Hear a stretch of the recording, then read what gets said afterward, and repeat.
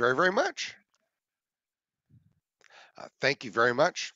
So, uh, Frank uh, Nagle is soon going to give uh, some very, very interesting results from uh, from the research, but we thought it'd be very useful to first give a little context here. So I'm going to try to do that now.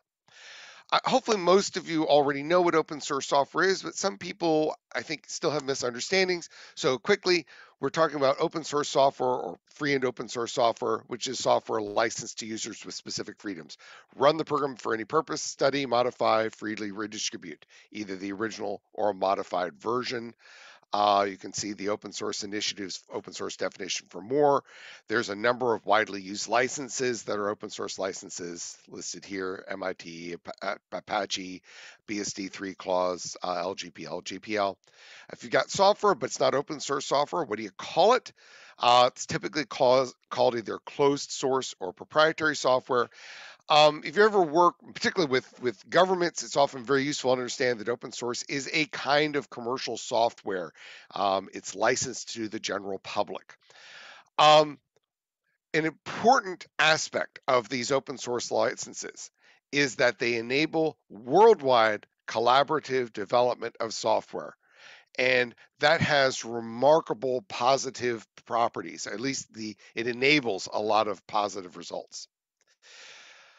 Open source software is a critical part of today's software supply chain. Uh, Synopsys recent study found that 98% of code bases in general and of Android applications specifically contained open source software.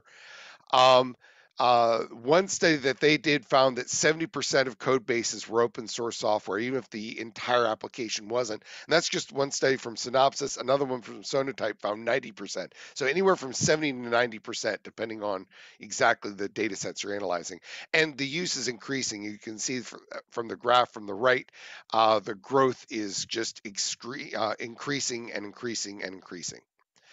Um, in fact, even back in 2019, Sonatype noted that they've seen double, triple digit growth, no slowdown in sight. Well, that's great in terms of functionality, but what that has, um, has unfortunately yielded is a lot of projects and organizations really don't know what's in their systems. They use components that then use components that then use components. And you know, in the end, there's some component in Nebraska that nobody knows about, but in fact, your entire modern digital infrastructure depends on. So, we're going to be talking specifically about security, and one uh, myth that I want to immediately um, uh, explode is this word "always." I'm sure many of you realize that "always" is a, is a rare situation. Um, is open source software always more secure? Is proprietary software always more secure? And the answer really is neither. Um, now, it is true that open source has a potential security advantage. Uh, if you look at the basic secure design principles that were identified back in the 70s, they're still valid today. Uh, one of them is called the open design principle. Uh, basically says protection mechanism must not depend on attacker ignorance. Now, open source better fulfills this principle, so that gives it a potential advantage. And I've always been perplexed by people who say that peer review can't work or what's called many eyes theories. Uh, this is perplexing to me because it's how the rest of society works. Academia, science, math, engineering all depend on peer review. That's how it works. So the notion that peer review somehow is useless for software doesn't make any sense. Uh, but it is true that just being able to be peer reviewed is not the same as having actual re- review or have reviewers who know what uh, to look for. Um, yeah, no, no software is perfect. Vulnerabilities may be found even in well-run projects. That said, continuous careful review is more likely to find vulnerabilities and fix them and get rid of them over time. So let's put some context here. Um, the Open Source Security Foundation is a cross-industry collaboration. Uh, it's part of the Linux Foundation. Its purpose is to improve the security of open source software by building an expert community. Um, it was established late 2020. Um, we uh, switched over to a member-funded model late 2021. Um, and it has a huge, huge number of folks involved. Here are the premier members, quite a long list. Um, Here are the general and associate members. This is not just one or two organizations getting together. This is a large number of folks across the software industry working together to improve security. I can't possibly cover all the things that the OpenSSF is doing. There's no one magic answer. Many things need to be done, and the OpenSSF project has a huge number of projects. Uh, one of them, if you look on this eye chart here, Q, Harvard study. That's what we're going to be talking about today. We're, we're looking to ident- help identify critical projects. And the reason is not all open source software projects are equal. A small subset are of, of special importance. Um, the census two that Harvard's going to be talking about today, um, in this in the context of OpenSSF, is actually un, uh, within the uh, Securing Critical Projects Working Group. Um, and uh, you know the working group is then going to take this data and other data to create an updated list of uh, critical open source software projects. It already has a draft list. Uh, the best practices working group within the OpenSSF uh, has already been distributing multi-factor um, authentication tokens uh, to critical projects as was identified through an earlier draft. We expect to do more of that with their updated list. The Alpha Omega project has an alpha side focused specifically to help uh, the most critical projects, and we're expecting to use the data you're going to hear today to help us identify those. If you're interested in more, openssf.org. And with that, hopefully that gives you a little bit of context. So, Frank, please take it away. Great. Thanks so much, David. Uh, so as David alluded to, um, we're uh, uh, working with uh, the support of the OpenSSF and uh, the Linux Foundation. We thank them very much for their uh, for their work. And before we jump in, I do want to just give a, a mention. David mentioned how open source has enabled the world to collaborate. Uh, and I think it's important to note there's uh, there's actually tens of thousands of open source developers in the Ukraine, uh, and of course our hearts go out to them uh, and our thoughts are with them during the, this this tragic time. Um, and so I also want to thank all the people uh, that were involved in this report. You'll hear from a few of them uh, today during the Q&A session. Uh, but this was a, a, multi-year effort that involved a lot of people and a lot of stakeholders and a lot of different uh, support. And so we greatly appreciate uh, everyone who contributed.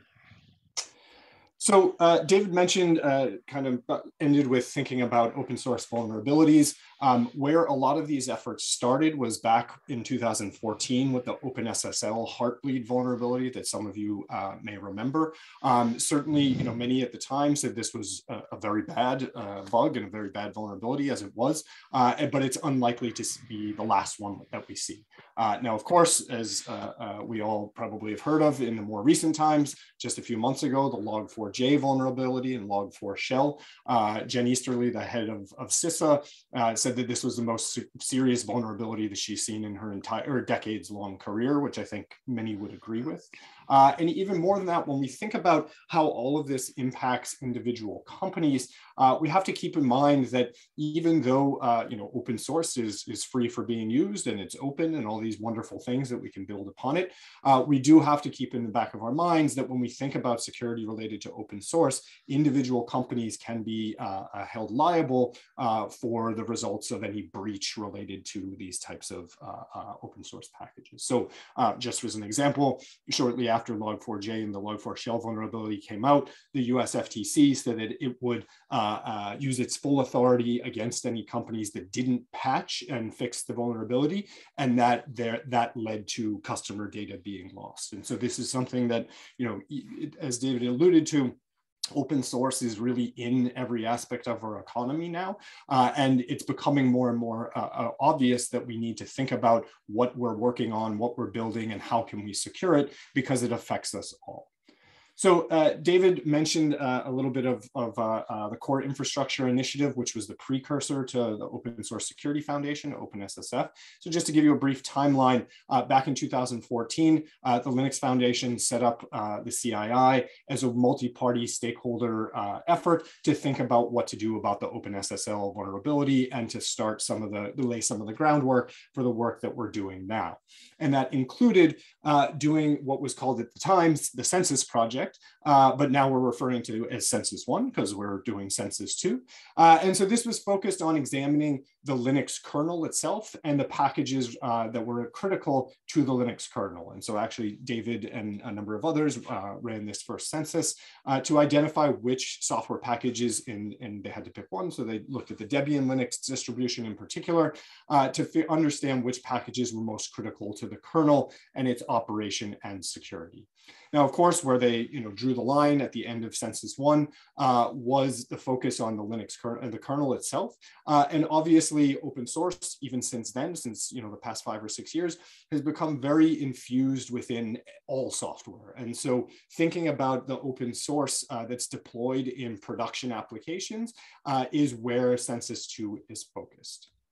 So the goals of Census 2 are really to think about reinforcing the open source infrastructure and guarding against systematic vulnerabilities by un better understanding the following things. So number one, and the, the most you know, critical piece of what we're trying to do here is think about what open source is out there, how much of it is being used, and how different dependencies uh, make that maybe behind the scenes that may be hidden in ways that we wouldn't necessarily think about. Oh, you know, this piece of open source is something that all developers, lots of developers use, but actually there's pieces of open source that that's built on uh, that are behind the scenes. And so digging deep into these dependencies and the various pieces of open source usage to better understand what's being used and to understand its uh, impact on the economy and innovation uh, was one of the primary things that we're trying to do here. Uh, related to that, also thinking about a measure of impact. So thinking about, uh, as David mentioned, the, the, the OpenSSF has the, a critical working, uh, cr critical projects working group uh, that is, is trying to better understand if we're going to offer support to various open source uh, uh, packages and open source maintainers, where should we start and, and which projects are most critical? so now our, our hope is to be able to contribute heavily to that conversation. What we've done is not the be all end all of the most critical open source projects. However, certainly an important piece of when we think about criticality is how widely used is a piece of software. And so our goal is to contribute to that conversation. And then some of you may be familiar with our prior efforts uh, related to running a large survey of open source community members. Uh, and so our hope is to use these two uh, uh efforts uh, in tandem to think about ways that we can better help uh, some of the open source contributors and maintainers that may be rather you know, stretched thin, right? Especially when we think about these super widely used open source projects. And then finally, um, when we think about you know uh, investment and how we, where we go from here and where we go moving forward, uh, the hope is that Census 2 and other OpenSSF uh, projects uh, and research can be used to help prioritize investments and resources uh, to support the security and health of all open source. But we have to start somewhere, and so the hope would be that we can start with some of the most widely used and some of the most critical projects that are out there.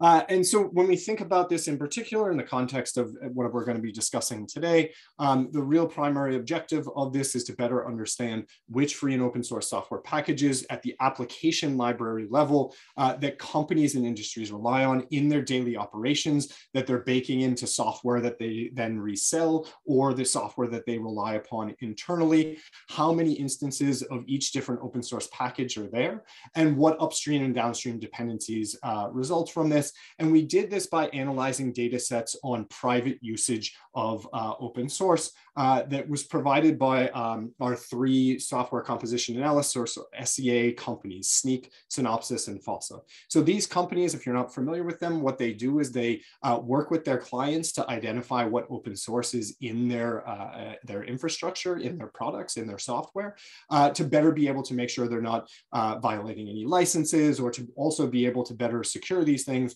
when uh, new vulnerabilities are found. Um, so thankfully, these three companies worked with us um, to contribute data in an anonymized way. And we were able to bring together these, these uh, uh, all this data um, to better understand, again, what open source is baked in at the application layer um, going into other software that's then being used for other purposes. Uh, and the great thing about working uh, with these three companies, by just working with the three of them, we were able to get insight into the use of open source at thousands thousands of companies. And so we, you know, again, as I've mentioned, um, this is not the be all end all of open source usage, but certainly we have a very wide and a very deep insight into what open source is being used at this particular layer in the stack. Uh, as David mentioned, we issued a preliminary report, what now seems a, a lifetime ago, because it was pre-pandemic, pre-war in Ukraine, pre all these different, pre-Joe Biden presidency, all these different things that have changed since then. Um, but what hasn't changed, or what has only become more important, is the usage of open source. And so uh, back in, in February 2020, we released a preliminary report that kind of gave uh, some notion of uh, uh, the top 10 lists, um, that of which now we have a bunch of top 500 lists that I'll be talking about in more detail. Uh, and so this work really builds on that preliminary report. And so I thank all the folks that were involved in the early days in this uh, because they um, we couldn't have been doing what we're doing now without all of their help. Uh, so what is the open, uh, uh, the report that we're, we're discussing and that was just released this morning? So the primary piece of it is looking at eight rank ordered top 500 lists. And the reason we have eight lists is because, as you all probably know, open source is super complicated and the ecosystem uh, varies a great deal when, in how we think about it. So we did a few different slices and dices of the data to give us better insights into you know, different ways we can think about what are the most widely used open source. So for for example, uh, in particular, we looked at um, you know version, it's per particular versions of software packages versus thinking of things in a more version agnostic way. We also looked at um, the JavaScript npm repository separately from the other repositories. This is because JavaScript uh, is, encourages kind of the use of smaller packages, and therefore people import more packages. And so, just as a function of the programming language and the way it's designed, we have lots of uh, more used packages there. And therefore, if we didn't separate these lists out, JavaScript and NPM would really dominate the whole list in a way that isn't truly representative of what's actually being uh, used out there. And then lastly, I mentioned the, uh, the hidden kind of dependencies within uh, open source. And so we did this again in two kind of cuts. One, we looked at what programmers are actually putting into their code themselves directly, so these direct dependencies. And then we also looked at uh, indirect plus those direct dependencies. And so the indirect ones we can think about, you know, if a programmer says calls a particular library, that library builds on a whole bunch of other libraries. And so those are the indirect dependencies uh, that we included in the more, uh, the broader list of how we counted uh, open source packages. So again, you know, uh, un unfortunately, there's no, you know, this is the number one used open source uh, package because we have these kind of eight different lists. But we really think that looking at these in all these different slices and dices allows us to better understand how open source is being used and which open source packages are the most widely used on these different dimensions. So the analysis was based on over 500,000 observations of open source usage from 2020. Uh, the report, again, is not a definitive claim of which FOSS packages are most critical, um, but it does represent our best estimate of which of these packages are the most widely used by different applications, again, given the limits of our data. And our hope, and I'll talk about this a little bit at the end, is that this will be an ongoing long-term, uh, you know, yearly or, or uh, every other year type of project. Um, and so we'd love for other folks to contribute as well, because the more people that contribute, the more we can see into the entire open source ecosystem, and the more we can think about getting closer to what the ground truth actually is. So a few notes on uh, the methods and just how we did all of this. Uh, so we, we, as I mentioned, we kind of end up with these eight five, top 500 lists. Uh, we did that by from each of the companies that contributed data, taking the top 1,000 uh, packages that showed up in their own analysis, um, and then splitting it on these dimensions that I just mentioned. Uh, and then we did what's called calculating uh, a z-score. So uh, the z-score is thinking, if you think way back to, you know, your maybe you had a stats class at some point, uh, this is just thinking about where in a distribution uh, a particular observation occurs, right? And so if, you know, it's very high and it's a real outlier on the high side, then this z-score is going to be uh, very high. Um, and, and if it's, you know, it's something that's in the middle, then the z-score will be relatively, you know, moderate, and then it could be much lower than that. And the reason we had to do this is because these three companies all have different sizes of uh, customer bases that they're looking at. And so if, for example, one of them had 10,000 customers and the other only had 1,000 customers, then obviously, you know, if we just added those numbers together, then the one with the 10,000 customers would kind of dominate, but that's not necessarily what, how we wanted to, to aggregate this. So instead, we think about where in the distribution of an individual company's uh, uh, open source usage statistics did this show up? And then we use those numbers to combine them together to think about uh, how high or low on this kind of ranking in the overall distribution any given package was. Uh, and then, you know, we take this, uh, so we have, you know, 3,000 different components potentially, and we whittle this down and, and chopped it off at the top 500 uh, for a, a, variety of reasons. Our goal was to be able to share as much information as possible while still respecting the privacy and, and uh, integrity of the data and from our data uh, providers. Uh, so that's how we ended up at these top 500 lists. Um, happy if there are questions about that to chat more about that during the Q&A. Uh, but what I wanted to, to just show, I'm not going to sit here and show you all the, the, the, top 500 lists that would take hours and hours and hours, uh, but I'll just give you kind of a teaser of the data, uh, which is, is now available as of the, this morning uh, with the report. Um, and the last thing I'll mention too, and you'll see this in just a moment when I uh, show the, the, the tables, um, is that we also included information on uh, OpenSSF badging.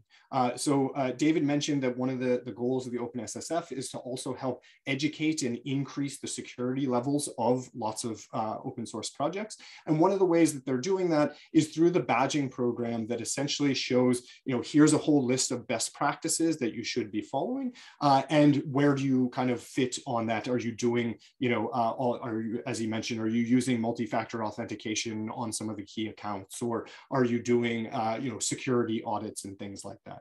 Um, so uh, the open source uh, the OpenSSF badging uh, just to have that in the back of your mind 100 uh, uh, it, it's on a score of 300 100 means essentially you're passing and you're you know at kind of the next level and you're doing all of the basic things. And then you can get up to 300 if you're doing the more advanced things uh, that are certainly uh, highly recommended um, but aren't necessarily kind of the baseline everybody should be doing this. Uh, and as you'll notice once I, uh, when I move to the next slide lots of these open source projects are actually not participating in the badging process. And so certainly one thing that we hope if nothing something else comes out of this is more awareness about these types of efforts that are really intended to help open source maintainers and contributors enhance the security of their own uh, uh, their own projects, right? And not everybody has to be a security expert. However, following these kind of baseline uh, best practices really goes a long way to enhancing the overall security of open source.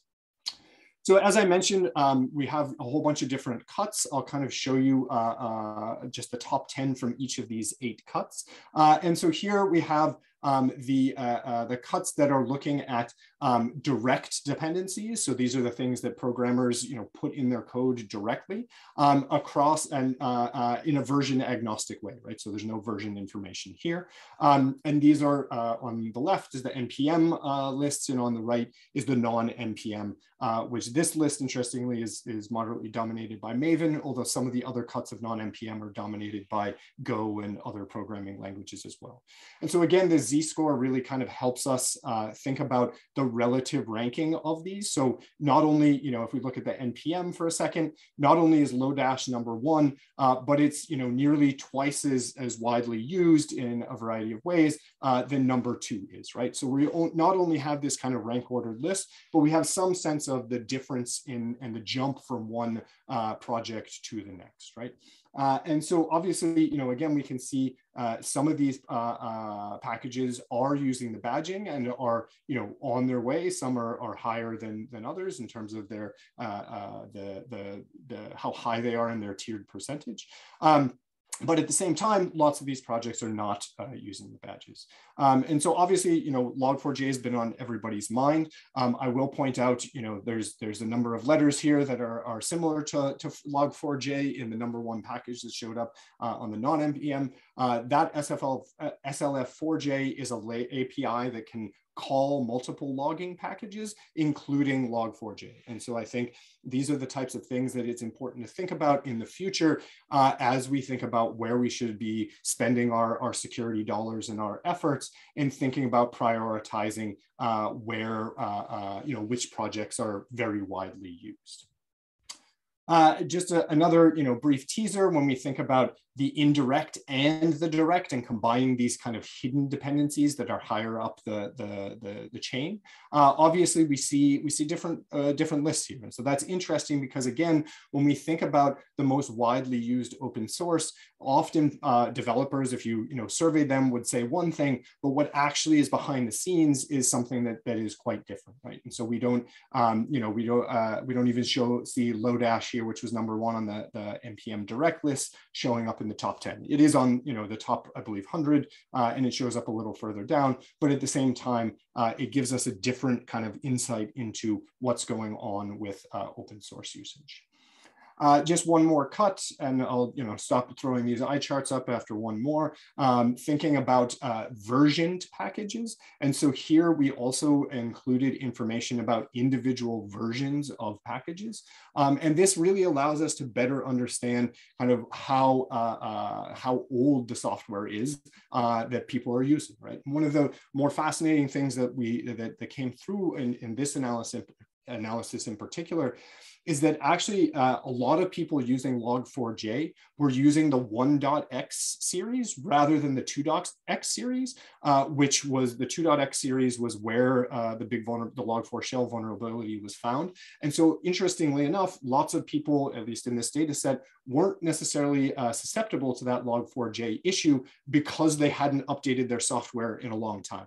I wouldn't recommend that as a defense mechanism, certainly. Um, the, the Log4j version 1.x was last updated in 2015, and there's actually been a number of vulnerabilities discovered uh, in it since then. And so by no means were those people secure from, from everything. However, interestingly, uh, they, were, they weren't necessarily affected by uh, the most recent Log4j issue that um, you know, was in the news over the past few months. Uh, and then lastly, uh, this, this, this, final list is, is just, a, again, another cut thinking about the indirect and direct dependencies, again, at the version level.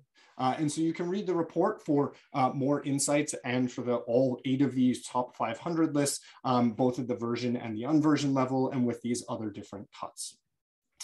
All right, um, so uh, now pulling back to, to the higher level, we wanted to think a little bit about uh, lessons learned and where and where we can go from here. So at the highest level, um, you know, we highlight the need for standardized naming schema for software components. One of the things that was certainly tricky on the back end, merging all this, this data and bringing these all, all these things together, is that there are lots of packages named debug uh, or lots of packages named XYZ, right? And so when we think about these efforts to better understand open source usage, uh, there is no kind of true naming scheme that everybody has to follow. Different companies use different schemes, different open source projects use different, uh, uh, uh different methods. And so thinking about that is something that um, was you know, noticeably important at the higher level. And related to that, there's also a lot of complexities associated with package versions. In particular, we saw um, some versions uh, reported by our data partners that were widely used pieces of software uh, that didn't actually exist in the public repositories for those packages.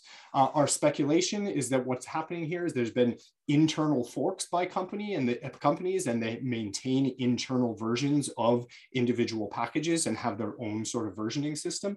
Now that's certainly, you know, depending on the license and the, the David ran through a number of the licenses before, depending on which license they're using, that's that could be totally fine from a kind of legality standpoint. But when we start thinking about software bill of materials and the ability to actually track, you know, what version of a piece of open source is in my, uh, you know, in my code, that that can make things a lot more complicated because then different version numbers can mean different things. And it makes it harder for, for companies to understand, am I vulnerable to you know, whatever the new vulnerability that just came out was.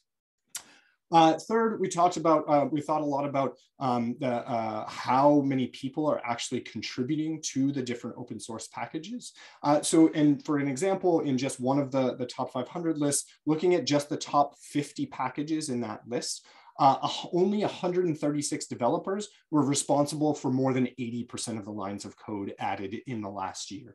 Uh, and so when we think about, you know, this, this kind of many eyes and lots of people working on open source, that may be true in aggregate, but on any given project, often we see one or maybe two developers contributing the, the, bulk of the code. And this makes things more complicated when we think about uh, security because uh, there's a lot that needs to be done. Uh, and then we think about the notion that uh, those people are stretched pretty thin already. Uh, fourth, we thought about uh, the increasing importance of an individual developer account security. So here we had, uh, we noticed that lots of these very popular packages are hosted under individual accounts on GitHub or other repositories. Uh, and that can be concerning because those don't have the same level of security uh, as organizational accounts or some other types of things. So David already alluded to the fact that um, the OpenSSF has been uh, working with many of these projects to, to give them multi-factor authentication tokens and the ability to increase just the baseline level of security on their accounts. And then finally, from the high level, uh, this persistence of legacy software in, in open source. I, I, just mentioned this issue with uh, Log4j, um, and, and that was with, uh, we saw that with lots of uh, different packages, right? That very old versions were still being relied upon heavily. Uh, and this is a problem that is, is in all sorts of software, right? Not just open source, it, but is something that needs to be thought about in the context of open source moving forward as well.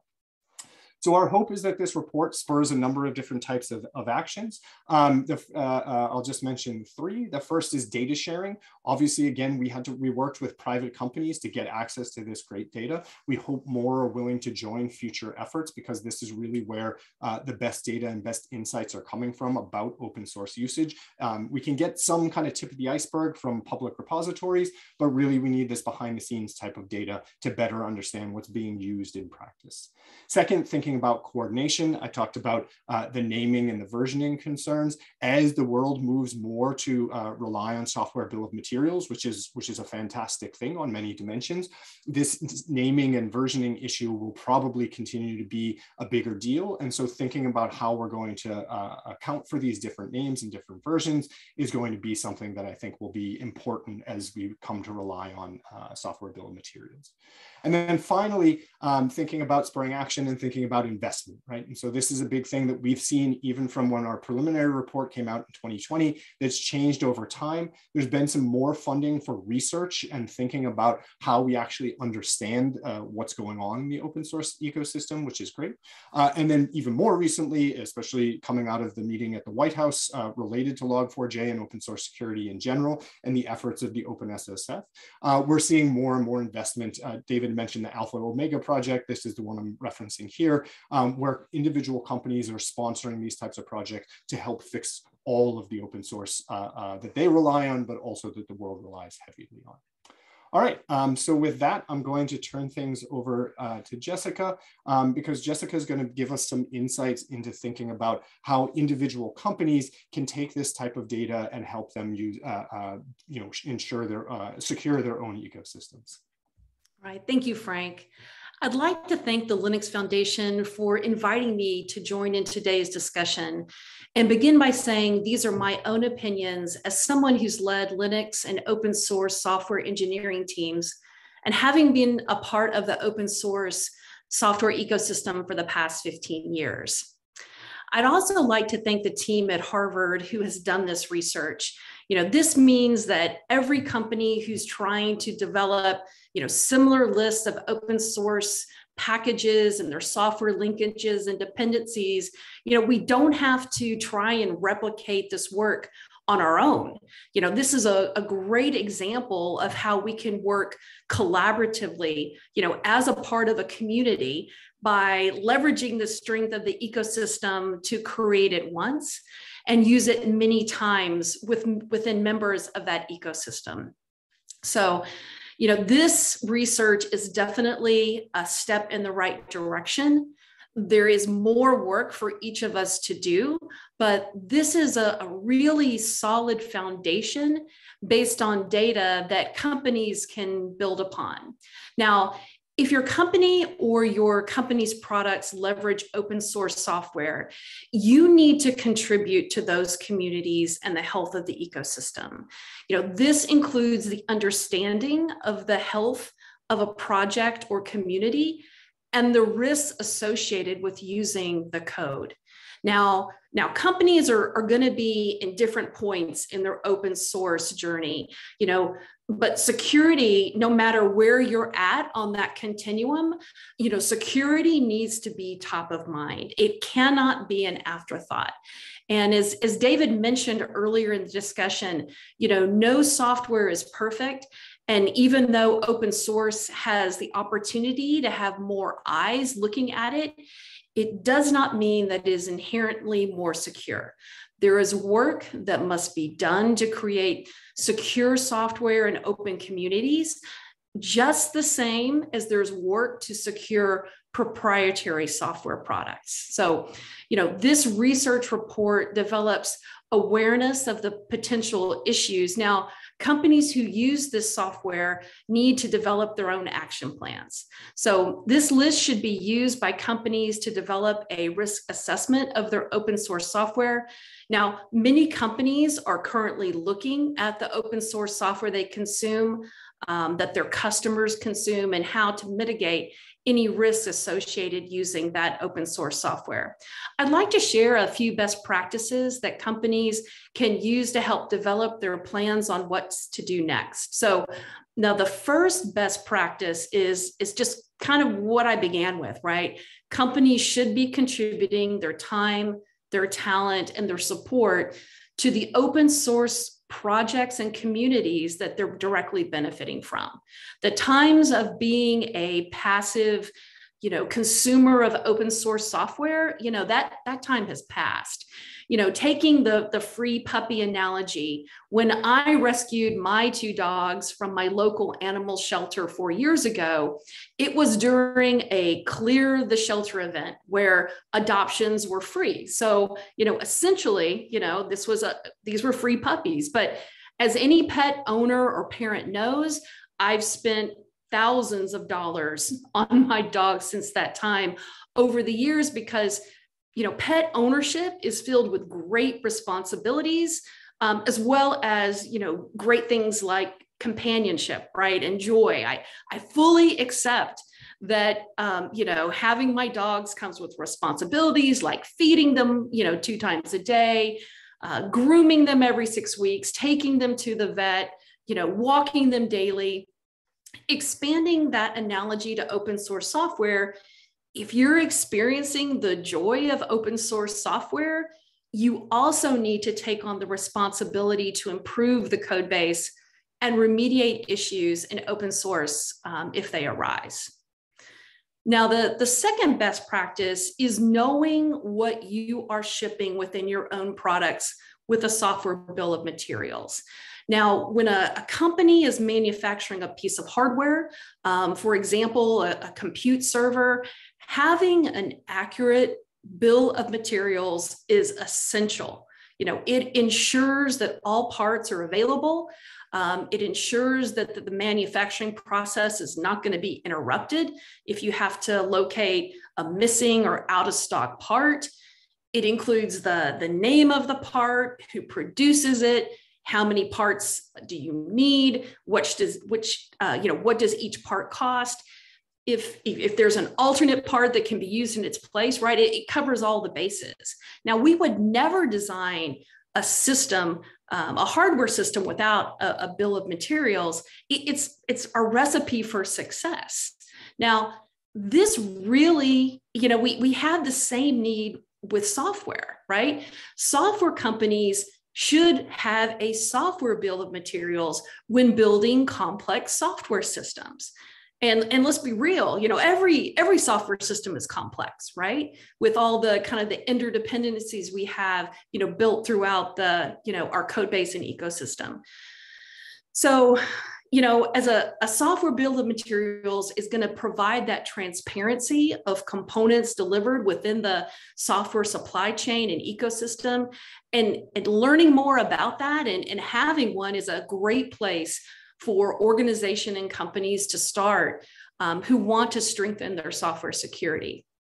Now, that this is going to bring me to my third best practice, which is to enable your open source engineering teams with consistent and strong, you know, tops down focus as well as bottoms up enablement on the importance of secure software practices and policies.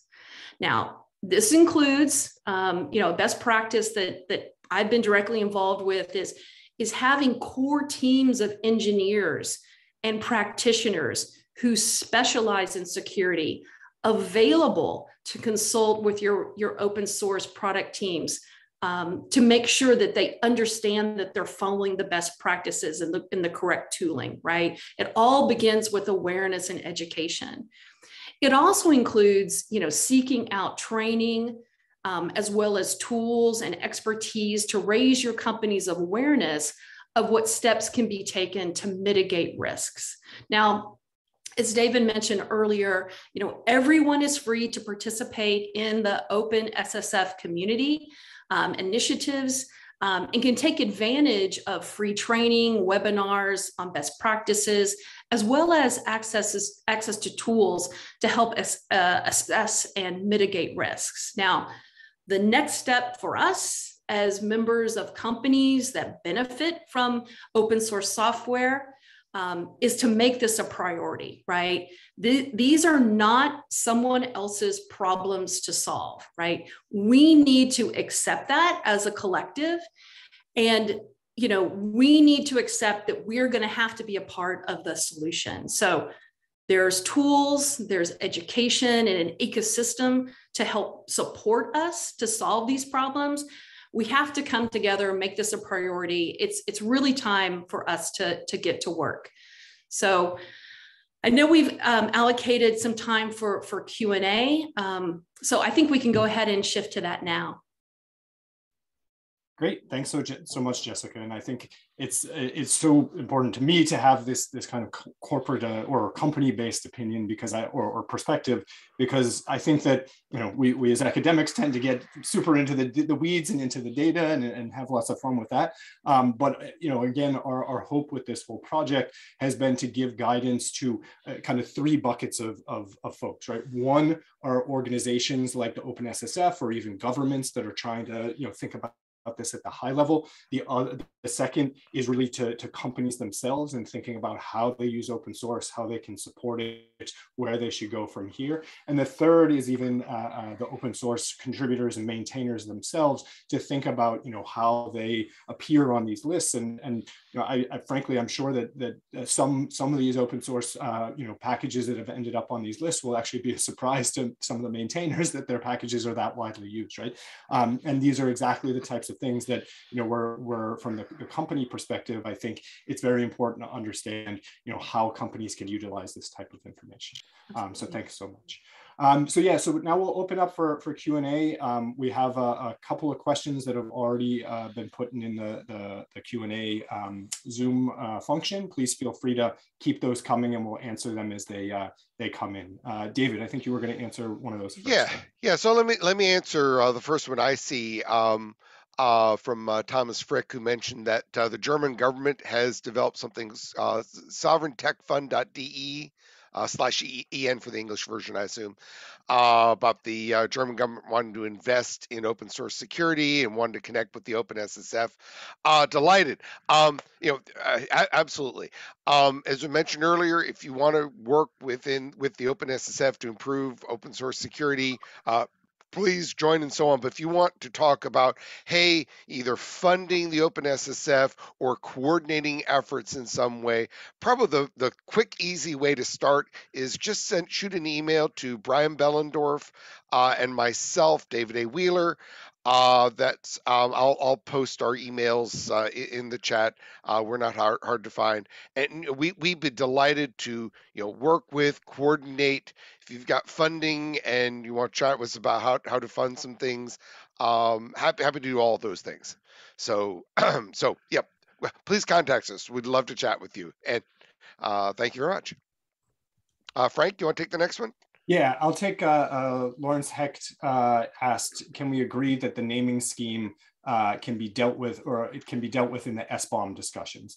Um, so uh, I, I, think the answer is yes. Um, but we have to make sure that it is right. And so both uh, the naming uh, uh, concerns that we had, for example, that you know there's there's 15 different debug packages, and sometimes there's in in the same language, uh, you know, there can be different packages with the same or very you know, very similar names, um, and then also with the version issues that you mentioned as well. Uh, I think so. I think the answer to Lawrence to your, your question is is yes, we can do that, but we have to make sure that we do it because um, and so agreeing on you know as, as kind of a community, for example example, how should we think about the canonical name of a package, right? Should it be, um, you know, a package manager plus the name, or should it be something like a URL, either on, uh, you know, a repository like GitHub or GitLab or something like that, or a, a separate uh, URL? I think these are, are all reasonable options, um, but I think that's some of the things that the folks at NTIA and Commerce, Department of Commerce and, and those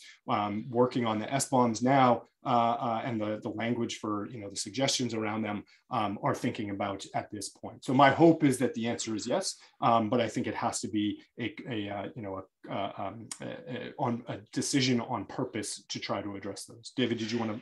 Yeah, I just wanted. Well, I, I, I definitely agree that this is something that uh, needs to be work, dealt with within the uh, communities developing SBOM specifications and related things. Um, I, am already on record saying that I think URLs have to be at least part of the solution, in part because, you know, hey, everybody downloads from Maven. No, they do not. Uh, there is a huge number of, say, internal to organization repos. Uh, system mm-hmm. packages are often modified and tweaked by various system orgs. So, you know, version foo 1.2.3 from say Red Hat Enterprise Linux is not necessarily the same as the source code of foo 123 from its original developers. And so, um, you know, this is why the name naming is actually more complex than it sees, seems at first at first blush. And so we need to uh, have ways that can handle widely distributed uh, distribution systems. Thanks. All right, we, we have a question from Denton on how to best promote getting an open source coordinator position at all universities and asking where we can collaborate on software, um, where they can collaborate on software security and university needs. And so, you know, my answer to you, and I know some other questions in the chat that are somewhat similar, is never let a good crisis go to waste, right? So log4j has captured the attention of not just the, you know, kind of people who work in IT. It is something that has permeated governments and, you know, business people. It's gotten that awareness. And so I, think what what you should do is work with your administration and and kind of put together the business case on how you know important having this CISO type function um, as a part of the of a community of a of a university community. And um, you know just you know we really it's not something you can kind of afford not to do right? So again my, my advice is to not let this uh, crisis go to waste. Yeah, it sounds like they're talking about something like an open source program office, an OSPO, or something similar. Um, you know there's actually a whole bunch of if you just google that uh, you know you do, do use a search you'll find a whole bunch of things about doing those. I think in an academic session um, situation it's a little more complicated. Um, i think that it's probably more easily done in a more distributed lower level way instead of necessarily trying to do it at the university level. But really I mean, I think the key there is, is you know, don't let a good crisis go to waste. You know, hey, there's some challenges. Let's make things better, and focusing on that, and then tweaking things based on your specific circumstance. And I'll, I'll add to that. I know that uh, John Hops, Johns Hopkins University has actually been doing a lot of work on on building out an OSPO and things like that. And they've been, um, I forget the name of the, the person in charge, but they've been uh, publishing some blogs and some kind of best practices for how universities can think about building an OSPO. Um, so I'd check that that out as well. Um, uh, so uh, there was a question about um, kind of where we're going from here um, and what's uh, uh, you know what's next on the radar for for this type of, of effort. Stephen, I don't know if you want to maybe answer that one. Yeah, sure. Ha- happy to. Um, yeah, so I think what we want to do is we want to continue to build on these efforts and move into understanding um, OSS in the cloud, uh, but also, you know, we're we're an academic institution, so we like to run experiments. We have uh, quite a few uh, eager economists on staff who love to run experiments. So I think we're going to run some experiments on um, the the value of open source, both on the the to the um, developers, but also to the um, to to uh, uh, industry as well. Um, and then we're I think we're also going to uh, look back and uh, you know we we released a report um, I want to say September 2020 on um, the community contributions to uh, OSS and so I think we may circle back around there um, but much on the horizon I think uh, in terms of uh, building on this um, building on this data in this uh, this report. Great, thanks Stephen.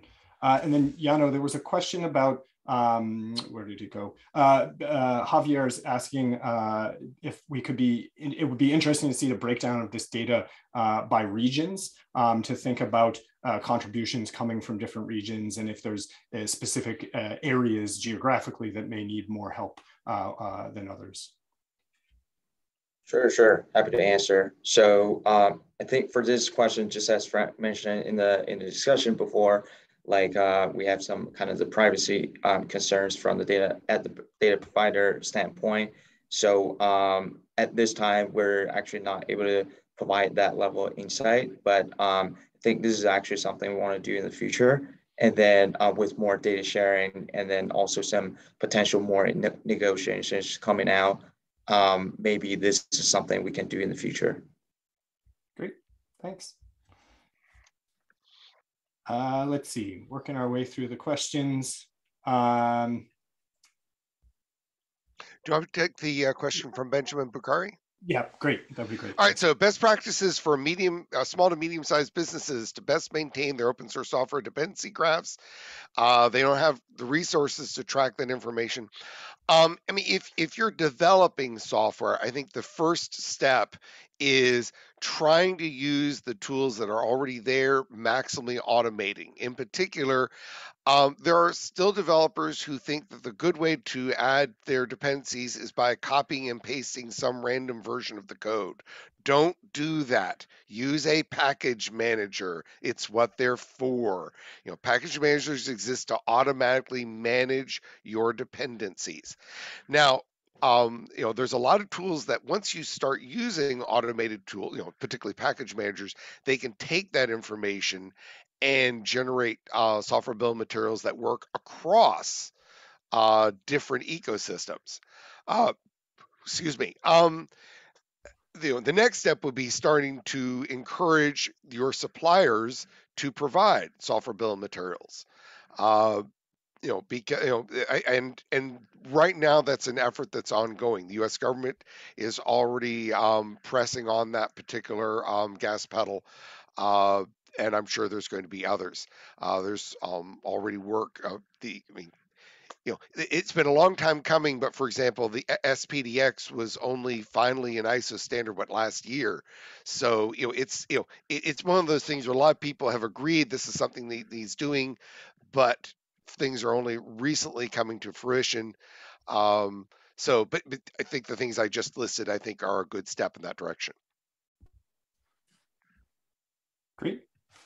Um, and then uh, we're just kind of going uh, alpha, or numerically here. Um, uh, or David, were you going to? So the uh, Kathy, Kathy asked a Kathy Giori asked a question about um, best practices of uh, how to organize uh, lists of open source internally, I think, um, so they can easily, more easily support being part of ongoing census efforts like this um, without so much manual effort to analyze the data. Uh, so I, I, can speak for you know uh, myself and Yanuo and Stephen. Uh, yes, there was a lot of manual analyzing of the data on our part, but also on the parts of the SCAs um, to you know ensure the privacy and and you know that they weren't revealing anything um, you know sensitive about their customers um, when they were providing this. Hence uh, the, the geography uh, concern that Yanuo mentioned. Um, and so one of the things that we're, we're thinking about doing in the future um, is, is trying to do exactly that. So, so trying to make it easier for individual companies that uh, have insights into their own operation, um, but not necessarily like the SCA's insights into many operations to be able to contribute data to um, this type of you know, future census efforts.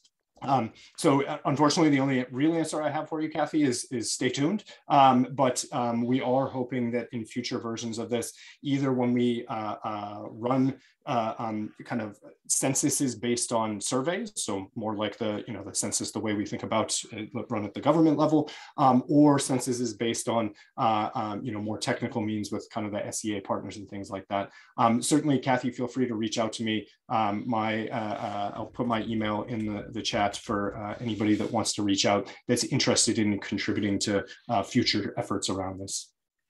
Yeah, if I could quickly add, the, the problem wasn't organizing the data; it was uh, getting access to the data. Um, so you know that's really the thing that we. We would love to have more folks being willing to share. Thanks. Yes, agreed.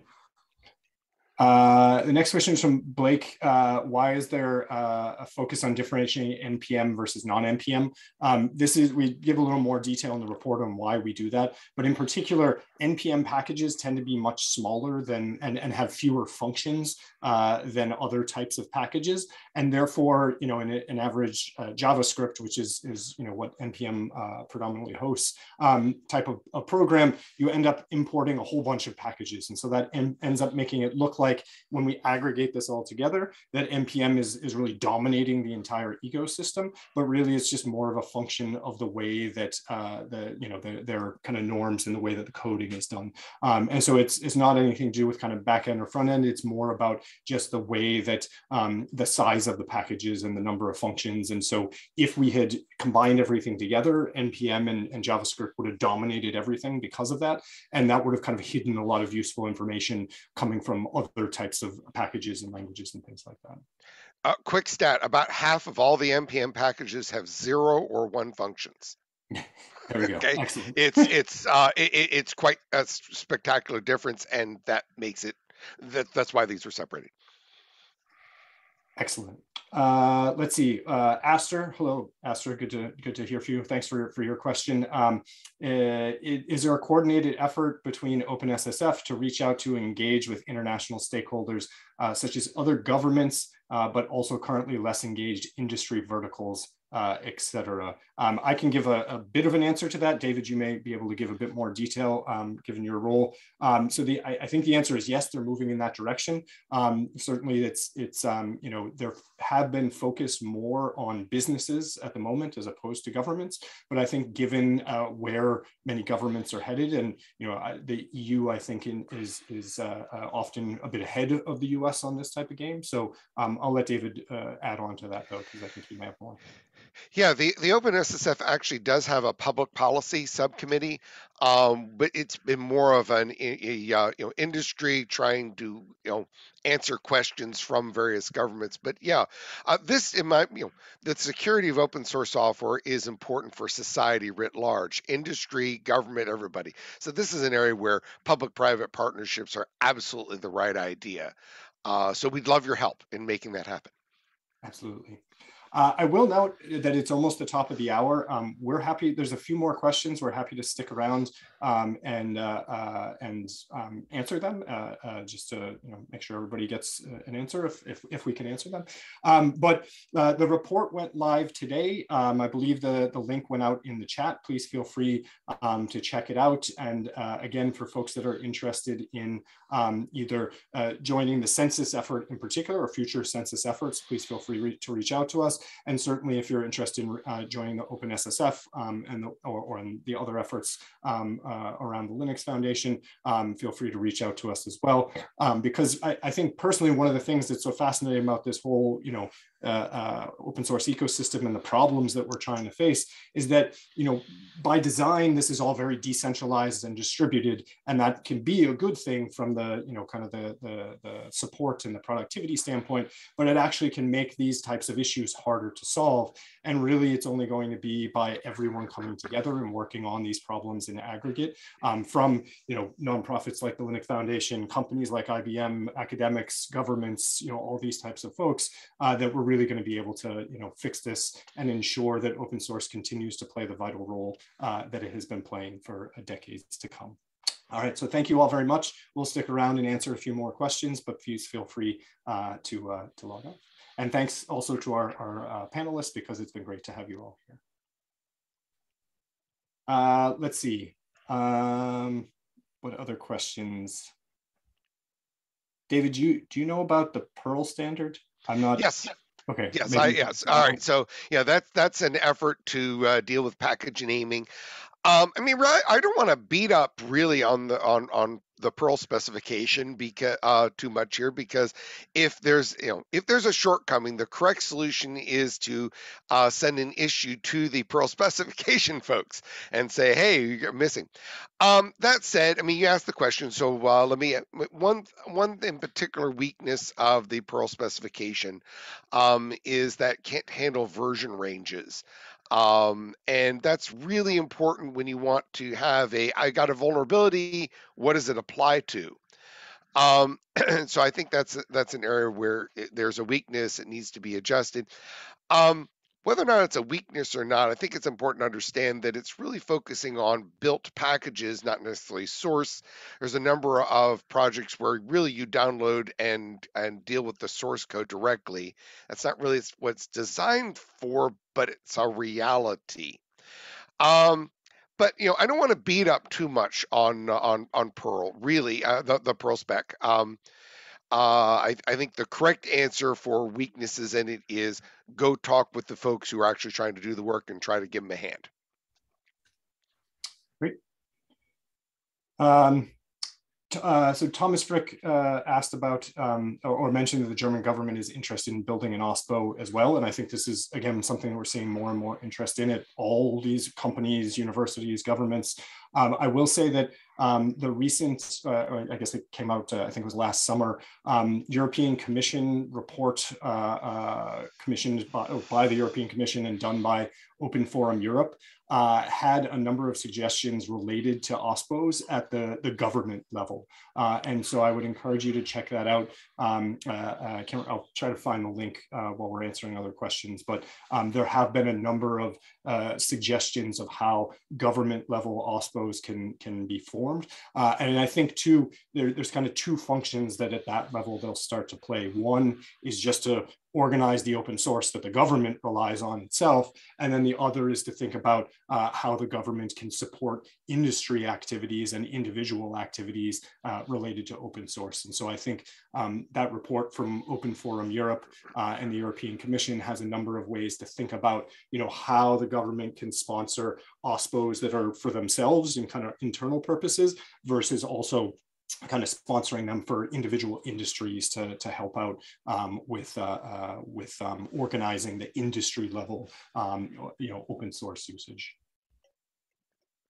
Yeah, and uh, had a question. I hope I'm saying his name, uh, saying the name correctly about how do we um, encourage companies who are benefiting from open source to actively fund projects. And he had some um, he had some you know kind of ideas that that he shared. So my experience is you know i can't make someone do something right? I, I can only change my own behavior. I can't change other people's behaviors. That's you know after years of therapy right? So um, what I, th- I think what you have to do what companies have to realize is what are the implications? Um, there are there are financial implications of not um, using secure software. There's um, implications of you know how you are seen by your customers, by you know the media. You know that you know no customer, no company wants to be on the front page of the newspaper, right? That you you know you had this breach or this the security problem. So I again kind of going back to you know you have to tend your own garden right you have to companies have to you know take ownership of this. And and it all starts with awareness right? And so this re- this research this report starts at awareness. As companies become more aware of of some of the uh, you know of, of, what they should do you know the, the, and you know here are some processes and tools and education that you can use. You know i have full belief that companies will engage right? But again they have to come to that realization um, you know, it all starts with awareness. Yeah, if, if I could riff a little bit on what Jessica yeah. said, I agree with you that it all starts with awareness. And I do think this report helps. I think another one, interesting enough, is those is the SBOMs. Uh, I showed that uh, XKCD cartoon of, you know, here's my amazing infrastructure, and here's the component that's in trouble that I don't know about. Um, right. I think I think things like SBOMs are actually going to help projects uh, notice um, I think increasingly, um, you know, users, particularly large end users, which have really critical needs, are starting to ask, "What's in this software?" They start taking a look. You know, yes, I'm glad I want this functionality. What's in there? Let me ask some questions. You know, yeah. uh, tell me about the risks, and very, very quickly they realize, "Oh, wait, this stuff's great. This one, no problems." What the heck? Um, and so I, I think the short answer is we're the work that's ongoing right now to help provide the visibility will help uh, incentivize folks to to improve things because you know different companies depend on different things different other organizations depend on different things. So they should care about what matters to them. We need to give them more visibility into what they're uh, depending on. Agreed. Uh, let's see. Uh, our friend Jim Zemlin uh, mentioned that uh, the Linux Foundation is, is actually um, providing free training for governments, uh, government OSPOs through the TODO group uh, that was mentioned before. Uh, I, don't, I, don't, think that's happening yet, but it, it will be uh, likely something that's on the, the very near horizon um, because indeed, you know, they're just like any large organization, they're heavily reliant on open source and, um, but not necessarily, uh, you know, don't have experience trying to think about how to manage this at the, you know, kind of the, the full organization level. So thank you, thank you, Jim. Um, uh, let's see. So, and there was a question um, from Holger uh, Streidel on um, thinking about uh, uh sources of error um, from the, the SCAs. Um, and uh, uh, maybe Yanuo, you can talk a little bit about that. Yeah, yeah, sure, definitely. So, um, think it's we try to actually be as clear as possible in our report, um, which is just a link. We send it to you, and then in that sec- in the message section, we uh, try to be clear about assumptions we made and uh, what kind of data we had, um, what how we're dealing with different kind of situations out there. So feel free to check the report, but um, I would say here, like what we're doing is more like uh, matching those, the, the standard where we're referring to is more like the libraries.io's website. So they have a, a, a good kind of, they, they've done a great job in terms of recording those kind of software and components so that um, we're trying to follow that standard. And actually that covered a lot of, most of the kind of the packages um, that we have in the raw data. So um, but feel free to reach out if you have any more questions after reading the report. Great, thanks, Yanuo. Um, there's one last question about uh, regulatory requirements for ISV um, to disclose scores or badges for compliance. David, do you have insight into that? Uh, sure. Well, unfortunately, um, uh, the world of governments, I presume this is where this is coming from, uh, love to live with acronyms, but we don't always uh, have the same expansions. I'm assuming what they mean is independent software vendors. Uh, but I'll bet there's 300 different expansions of that that might be applicable. But you know what? Regardless of that, let's um, you know regulatory uh, requirements to disclose scores, badges for compliances. Um, I mean, frankly, regulatory requirements, you, we're the wrong people to ask. That's a question to governments. You know, governments are the ones who establish regulatory requirements. Um, so I don't, I can't speak for various governments around the world. Um, I think that I, I would be unsurprised long term if there would be some regulatory requirements, but I I think that there's always a risk. And I used to work with uh, with uh, the U.S. government a bit, um, quite a bit. Um, I think the risks for anything that comes from governments is, of course, you know, they're trying to come up with criteria, but they're not directly in an industry. They're, um, it's often hard to make them accurate and correct and handle all cases. It's hard to make adjustments.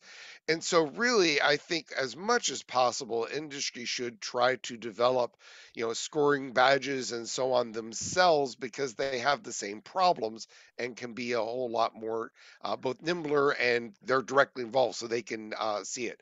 So, um, I think really governments should try, uh, you know, um, could would might governments do it? Absolutely, and governments have every right to to do do whatever make you know do whatever it is within their laws that they choose to do. But I I think where possible, industry should you know develop those ahead of time so that the governments don't have to try to do that. And then of course, if it turns out the, the industry creates something that's well that works out well um, I mean, there are some things that already exist, and the governments say, "Hey, that's good. Let's keep doing more of that." Uh, I think that's often a better outcome. Great. Um, yeah, and I would tend to agree. There's, there's, those are the types of things that um, you know some folks are, are talking about being baked in, and and I think it's it's kind of I, I would tend to agree that if if industry can can make that happen itself, that's probably more uh, efficient. But um, but that it may that may come down the, the, line at some point um, as we see you know governments get more heavily involved in uh, uh, in thinking about the role of open source within their own uh, uh, economies. Um, yeah, in fact, if I can jump in further, I mean, I, I've seen some of the proposed things and some recommendations, and already I'm seeing the we assume all software developers use waterfall approaches. That everything is we first write a thousand a, a ten thousand page contract with all the requirements, so we make sure you follow the ten thousand page requirement. Um, and oh, we assume that all software developers are very large enterprises, and then they're shocked shocked when it turns out that their assumptions are just not true. Um, it's not because government people are stupid; they're not. But you know, you know, um, you know, they're working in a different sphere. So I, I, I think that it's better if if we try to make it so that governments, you know, either don't have to regulate or their regulations can build on things that have already received widespread consensus by the folks who have to deal with it day in day out. Great. Agreed. Agreed. All right. I think we managed to make it through all the questions. So um, thanks to those who stuck around. Uh, thanks to our panelists. I know Jessica had to drop off a little bit early, um, but uh, we really appreciate everyone attending. Hope you uh, enjoy or get get learn from the reports, probably more than enjoy. Um, but thanks all for taking the time. Uh, with that, we'll hand it back to uh, Marisa to close this out. Wonderful. Thank you so much, Frank, David, Jessica, Stephen, and Yanuo for your time today. And thank you again to everyone for joining us. Just a final quick reminder that this recording will be up on the Linux Foundation's YouTube page later today. So we hope you will join us for some future webinars. Have a wonderful day.